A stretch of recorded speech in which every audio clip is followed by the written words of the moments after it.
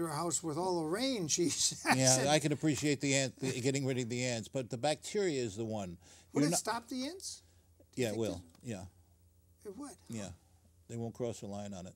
We've had weevils. Uh, we we have a pond and we had some fish food in the cupboard, and weevils go was in it. And there was a square that the uh, the housekeeper cleaned this one square on a tile in the kitchen, and the weevils crawled on that and they all died because of the pH. So she did a test, an interesting test. She took a bowl and she put weevils in an untreated one and treated the other bowl, and the weevils all died in the one that was treated. It's an interesting product because it doesn't do any harm to the environment. It can't hurt anything. It doesn't hurt plants. Anything green, it won't hurt. And just this year, you, Al, got the Nano Award from NASA Yeah. in 08.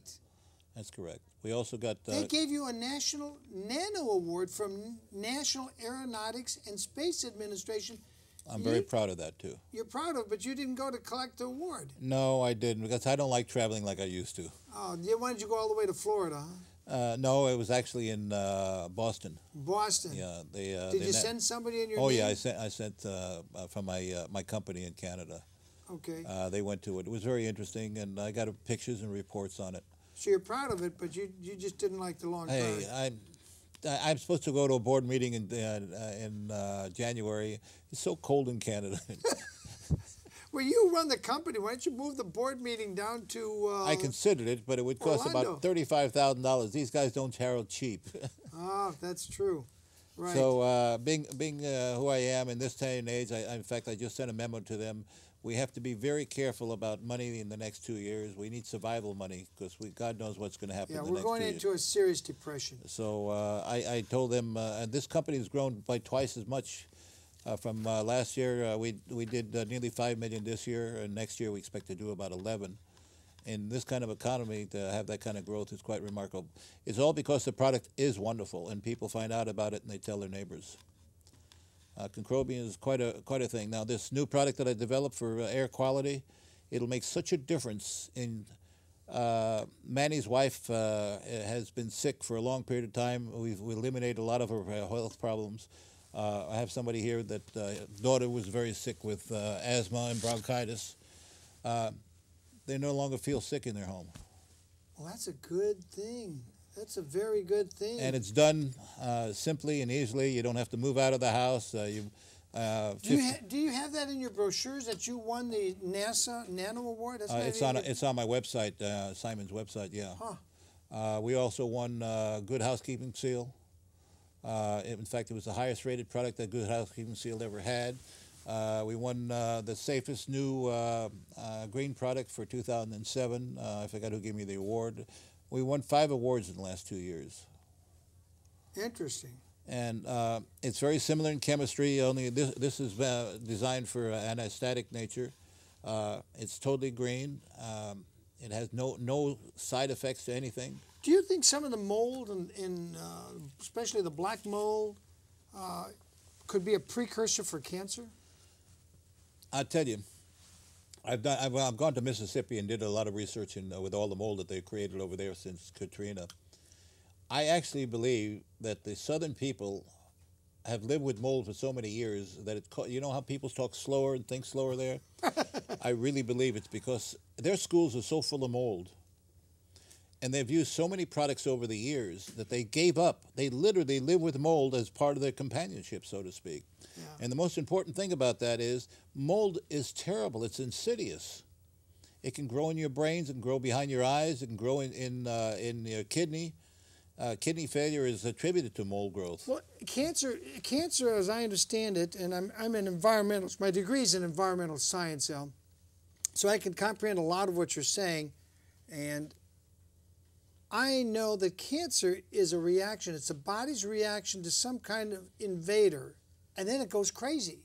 Yeah, everybody has cancer cells in their body. The That's body right, all contains the it. time. Well, We all have cancer cells, and it is true. There is a triggering me- triggering mechanism that takes place.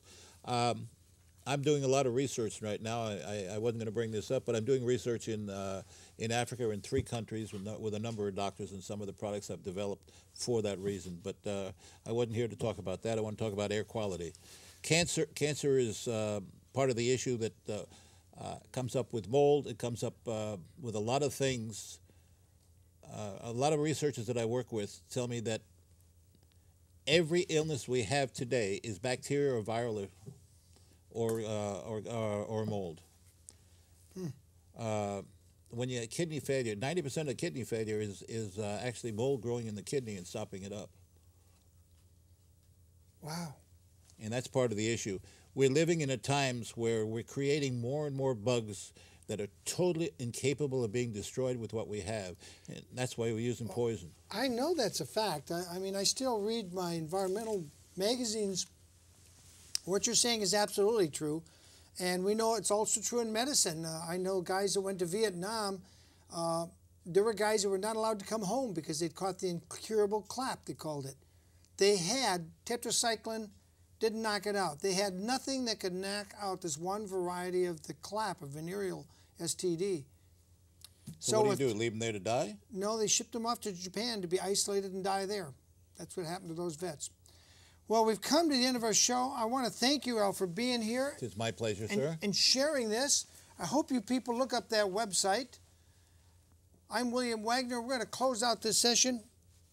You'll catch parts of this on the internet by Saturday night. You can just go to William Wagener on YouTube and you'll find parts of this already viewable if you want to see it again. We're going to go to Manny Mestez, who takes us out. Thanks for being with us.